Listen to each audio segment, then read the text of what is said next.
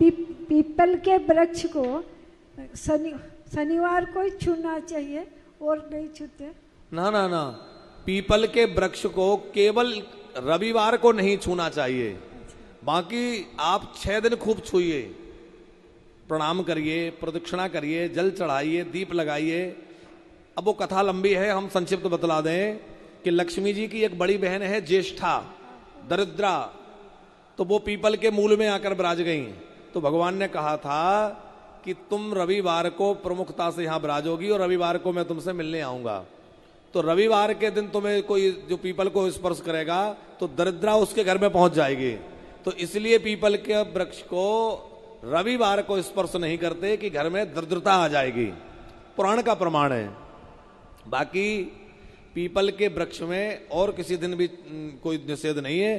नित्य प्रति आप परिक्रमा कर सकते हैं स्पर्श कर सकते हैं पूजन और प्रणाम कर सकते हैं। रविवार को छोड़कर रविवार को दूर से जल चढ़ाएँ और दूर से ही प्रणाम करें प्रदक्षिणा करें रविवार को स्पर्श ना करें। तो, की विधि क्या है? आप यहाँ करवाते हैं? जी जी जी जी जी। एकादशी उद्यापन की विधि जो है उसमें दो दिन की पूजा का विधान है। एकादशी के दिन भगवान का सहस्त्रार्चन पूजन पंचामृत अभिषेक आदि और द्वादशी में हवन और साथ में ब्राह्मण भोजन। एक दिन ब्राह्मणों के जोड़े को फलाहार कराया जाता है और अगले दिन ब्राह्मणों के जोड़ों को 26 जोड़े रखे जाते हैं। एक दिन फलाहार और अगले दिन भोजन कराया जाता है। हर वर्ष हम लोग साल में दो तीन बार यहाँ एकादशी उद्यापन होता है। तो अभी जो है, आने वाले कार्तिक महीने की जो एकादशी है, जिसको देवोत्थापनी एकादशी कहते हैं चार नवंबर को वह आने वाली है।